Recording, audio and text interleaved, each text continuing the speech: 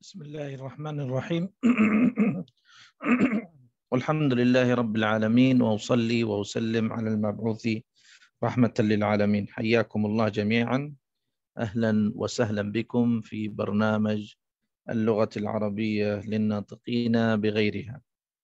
آه، بإذن الله سنكمل ما توقفنا فيه. توقفنا في هذا الدرس الدرس التاسع. وأخذنا كيف نتكلم. مهارة التحدث أو ما تسمى بمهارة التكلم. سننتقل الآن إلى الدرس التالي.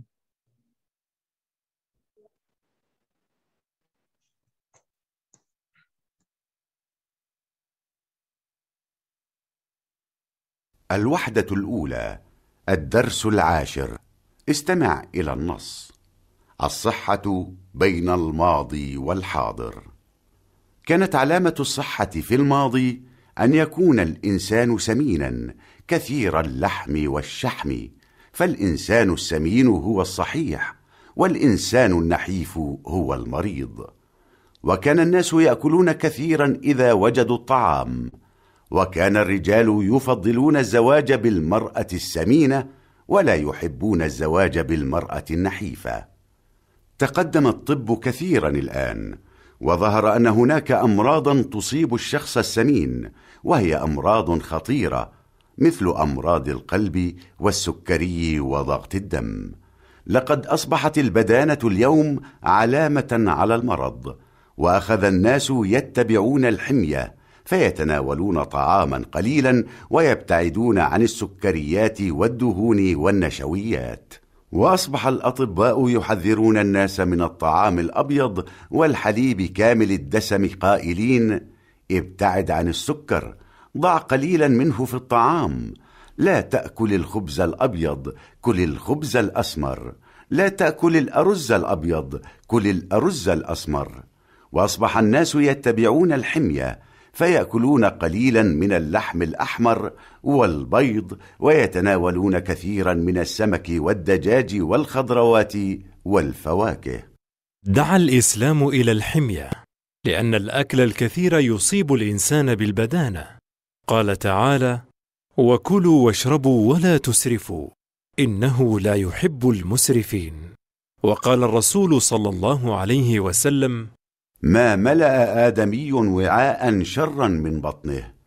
بحسب ابن آدم أكلات يقمن صلبه فإن كان لا محالة فثلث لطعامه وثلث لشرابه وثلث لنفسه.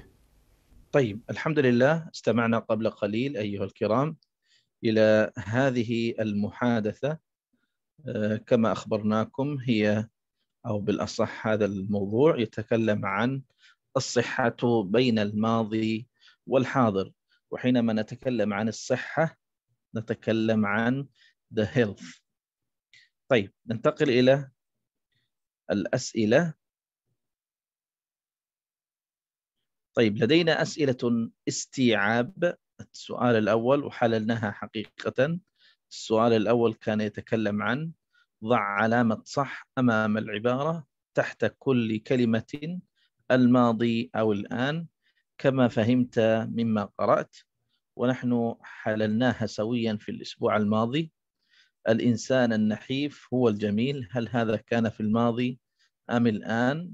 نجده من خلال ما قرأناه أنه الآن. البدانة علامة المرض. البدانة علامة المرض. هذه نجدها الآن. المرأة النحيفة مريضة. وهذه كان فكر لدى الماضي يتناول الناس طعاما كثيرا في الماضي يبتعد الناس عن الدهون نجدها أيضا في الآن. التدريب الثاني وهو عبارة ضع علامة صح بجانب الفكرة الرئيسية the main idea وكانت الفكرة الرئيسية في الفقرة الأولى أنه الإنسان السمين أفضل من النحيف. أما الفكرة الرئيسية في الفقرة الثانية فكانت البدانة علامة على المرض. في الفقرة الثالثة كانت عن الطعام الأبيض وفي الفقرة الأخيرة التي يدعو إلى الإسلام إلى الأكل القليل. هذه كانت آه، يعني أخذناه طيب نأتي الآن إلى هذه الأمثلة وهذه الأسئلة السؤال الأول صل بين الكلمتين المتضادتين. متضادتين بمعنى متعاكستين أو opposite in English. طيب لو أخذنا كلمة يتشابه ما رأيكم أيها الكرام؟ آه، ما ضد كلمة يتشابه؟ في البداية ما معنى كلمة يتشابه؟ حتى أعرف ضدها. لما يقول يتشابه القول علي يتشابه الحديث علي. ماذا ماذا نعني بكلمة يتشابه؟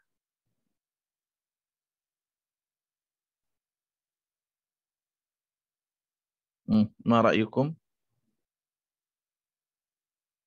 طيب كلمة يتشابه بمعنى in English same. فالمفترق أو المختلف أو الذي يختلف هو العكس من كلمة يتشابه. فهنا يتشابه عكسها كلمة يختلف.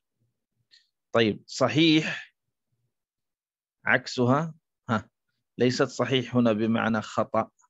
صحيح صحيح في جسمه صحيح في عقله يعني سليم لا كلمة سليم. إذا صحيح مريض. أحسنتم. وهذا معنى آخر لكلمة صحيح. دائما نعرف نعرف أن كلمة صحيح تعني correct أوكي لكن أيضا تعني كلمة الرجل السليم. ولذلك يقول العقل السليم في الجسم السليم وبعض الأحيان يقولون العقل الصحيح في الجسم الصحيح. طيب مرض عكس كلمة مرض؟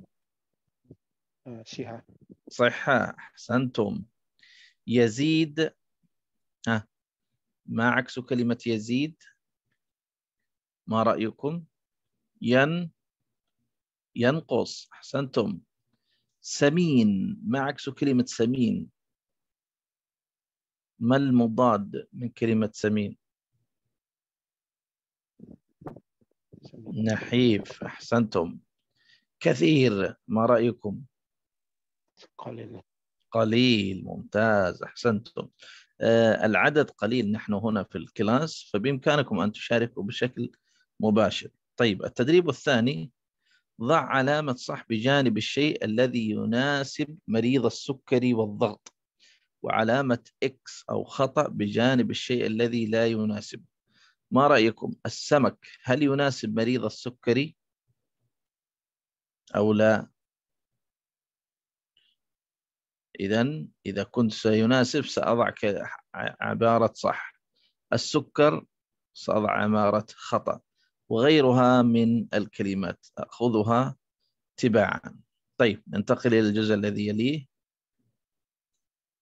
طيب هنا أقسام الكلمة في اللغة العربية. هناك ثلاثة أقسام للكلمة وهم اسم فعل حرف. بمعنى أن لا يوجد أي جملة في اللغة العربية إلا أن تحتوي هذه إما الاسم والفعل أو الاسم والحرف أو الكل اسم وفعل وحرف.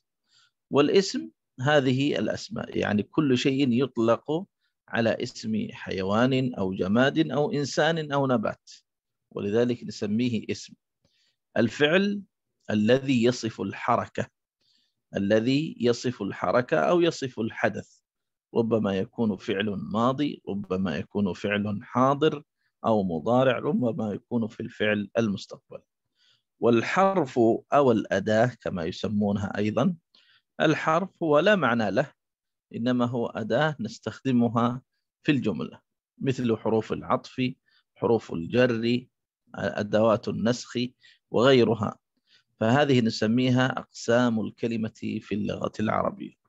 The part of speech we can say or the kind of word in English we have three. اسم فعل حرف.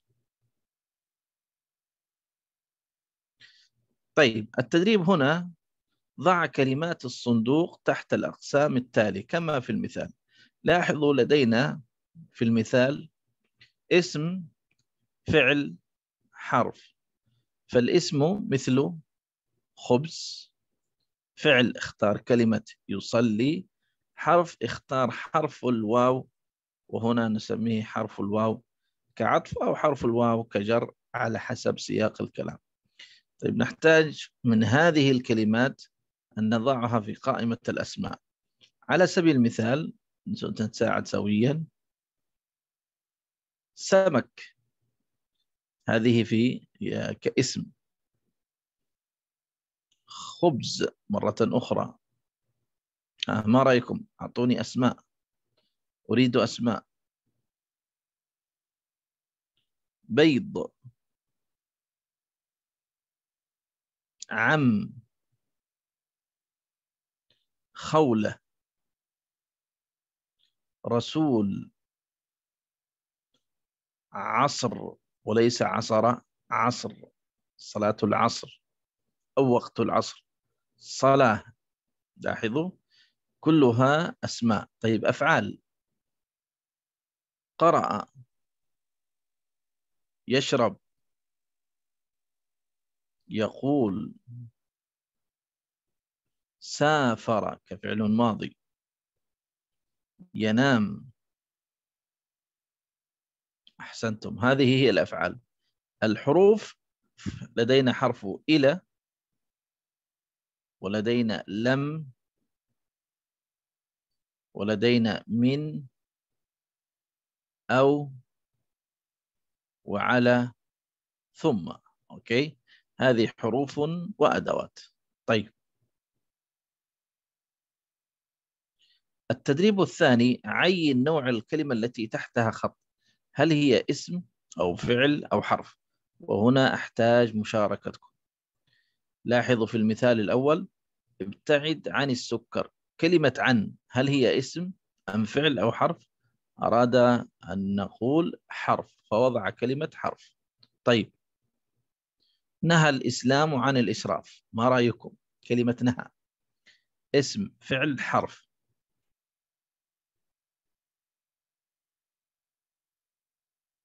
What do you think, brother?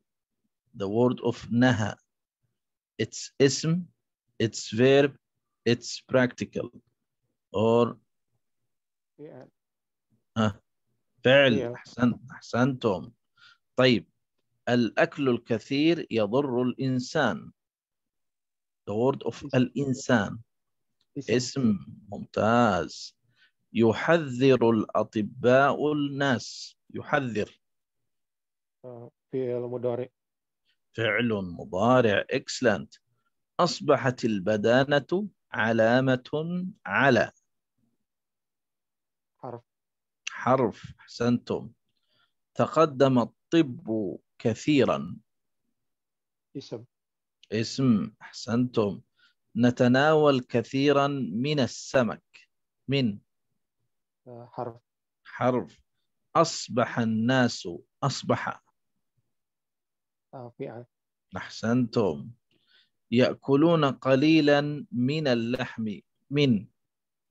حرف.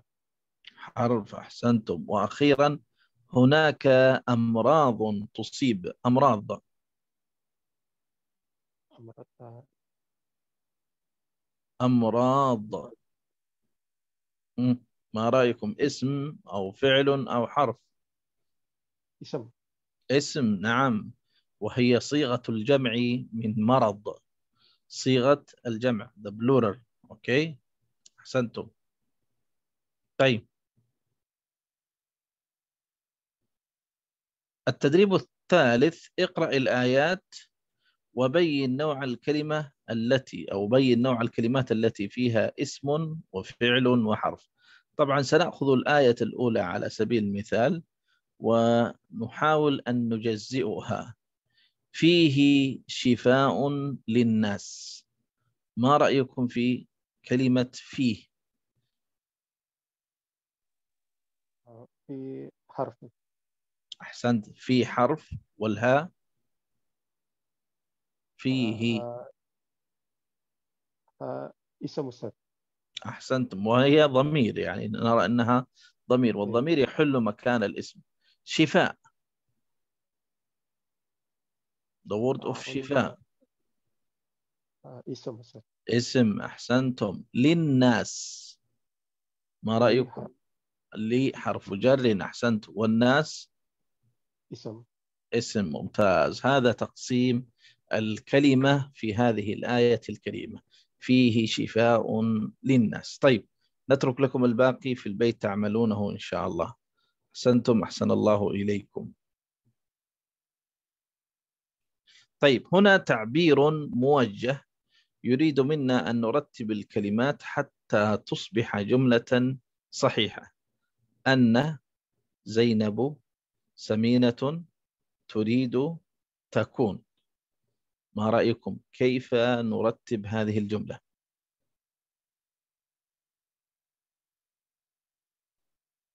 أن زينب سمينة تريد تكون.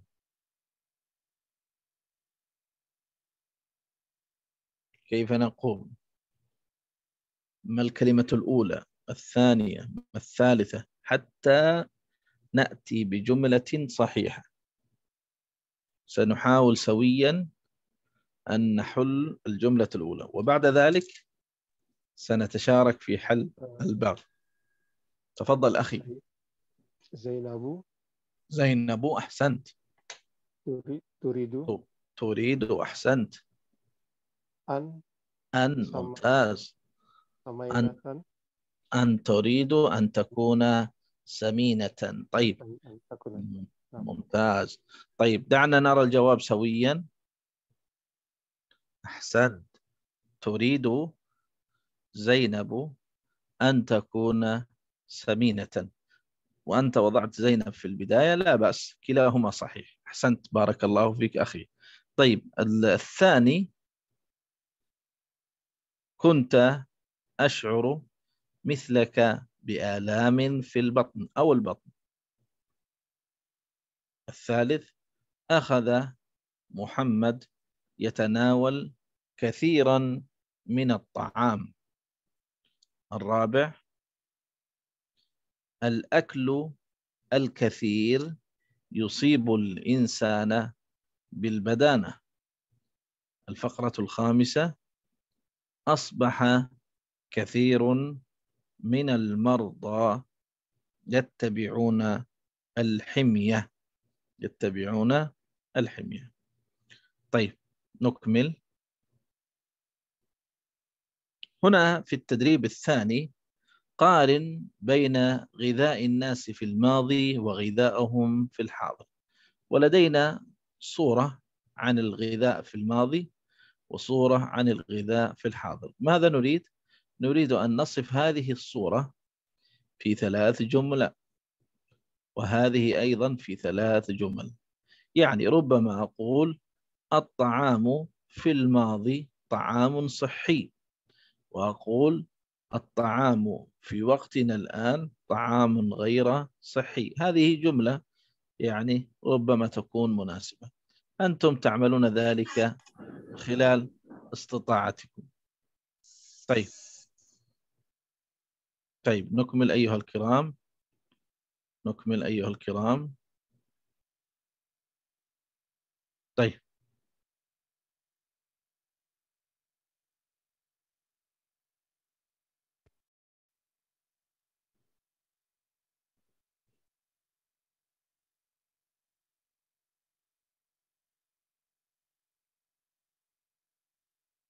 التدريب الثالث أيضا اكتب نصائح مناسبة مستعينا بالصور كما في المثال. نصائح advice أوكي على سبيل المثال هذا حليب.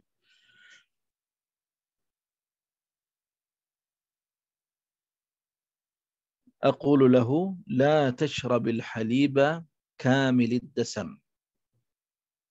هذه نصيحة أوكي هنا الصورة الثانية أقول لا تشرب الشاي بالسكر أو قلل استخدام السكر مع الشاي. الصورة الثالثة ماذا أقول؟ الصورة الرابعة حتى أصل إلى الصورة الأخيرة. وهذا يعني نشاط لكم إن شاء الله تعملونه.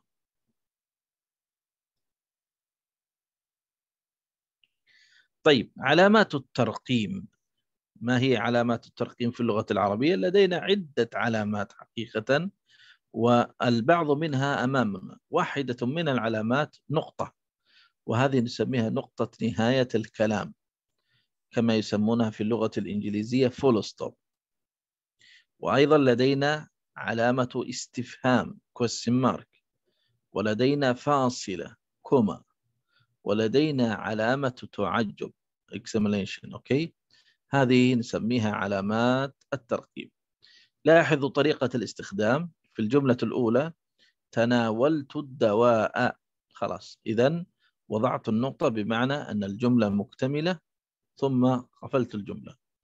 أيضا من أين اشتريته وهنا صيغة سؤال. لابد أضع أداة السؤال.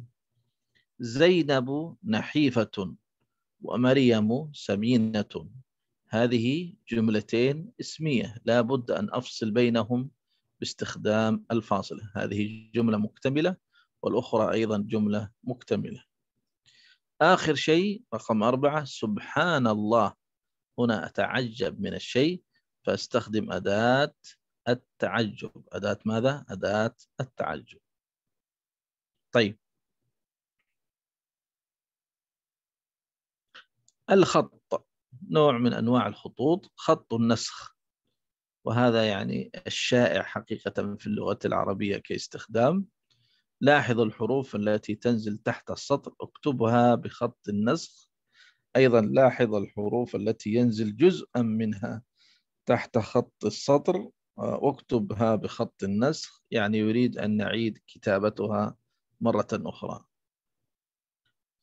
الإملاء وهذا علم من علوم اللغة العربية آه، كيف نفرق بين الألف المقصورة والياء. الألف المقصورة دائما تأتي بهذا الشكل بدون نقطتين. هذه نسميها ألف مقصورة. أما الياء المقصورة أو الياء فهي تأتي بنقطتين أسفل.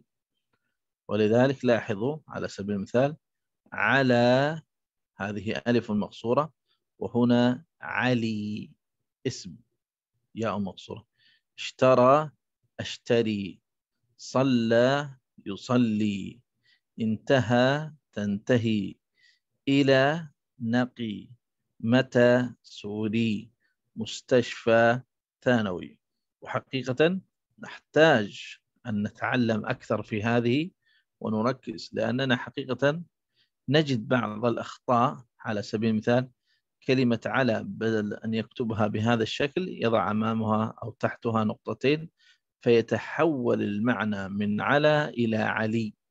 وأيضا إلى يضع بعض الأحيان نقطتين في الأسفل وهذا خطأ. هذا خطأ في الكتابة. فنتعلم كيف نفرق بين الألف المقصورة والياء. هل هناك قاعدة لذلك؟ لا لا يوجد هناك حقيقة قاعدة. إنما نحتاج أننا من خلال الممارسة والحفظ والاستذكار أن نفرق ما بين الألف المقصورة والياء. لاحظوا الآن هذه بعض التدريبات. هذه جرى مشى قضى آه، حينما أحولها إلى الفعل. هل آه، تبقى مثل ما هي ألف مقصورة أو تتحول إلى ياء؟ الجواب أمامكم. على سبيل المثال جرى يجري مشى يمشي قضى يقضي أتى يأتي درى. يعني علم يدري أعطى يعطي أغنى يغني لبى يلبي الحاج طبعا أمسى يمسي وأخيرا أهدى يهدي. فهذه لما حولناها إلى صيغة الفعل هو الفعل المضارع. الياء في الأخير أصبحت ياء مقصورة أوكي؟ وليست كما كانت في صيغة الفاء الماضي لأنه جرى ومشى وقضى. صيغة فعل الماضي أتت بألف مقصورة. هذا الفرق بينهم.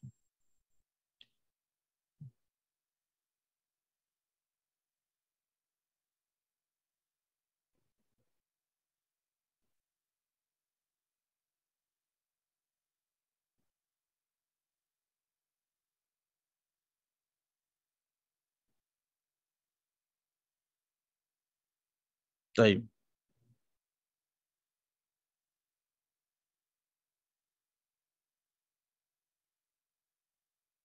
هذا هو الدرس العاشر ربما يكون آخر شيء في الدرس العاشر. ونتأكد سويا سامحوني.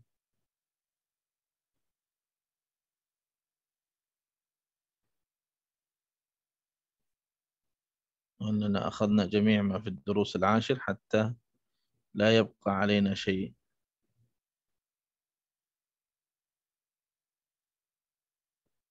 نعم هذا هو آخر شيء في الدرس العاشر.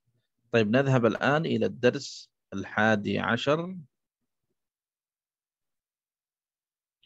وهذه يبدأ بأقسام الكلمة كما قسمناها سابقا. ثلاثة أقسام اسم وفعل وحرف.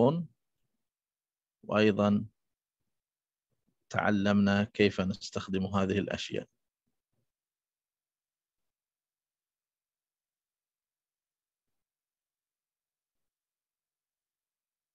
طيب. نذهب إلى الدرس الثاني عشر.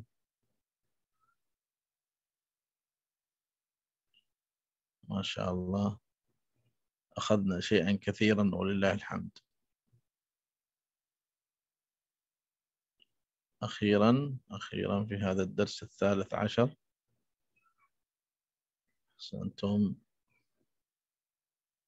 طيب ما شاء الله. نحن أخذنا الجزء الكامل لهذا اليوم اللي هو العناية بالصحة الوحدة الأولى. انتهينا ولله الحمد من جميع الدروس بهذه الوحدة.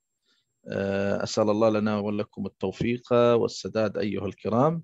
سأترك لكم مجالا. إذا لديكم أي سؤال تريدونه آه، أنا مرحب بهذه الأسئلة. إذا لديكم سؤال أو استفسار